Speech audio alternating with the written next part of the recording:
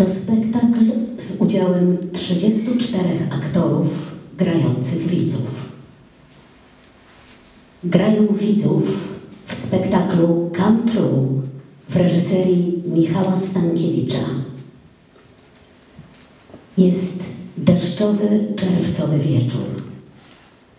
Spektakl będzie trwać 40 minut.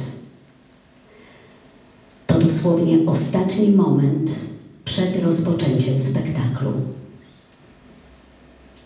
Wszyscy zamilkli. Za sekundę się zacznie. To ta sekunda.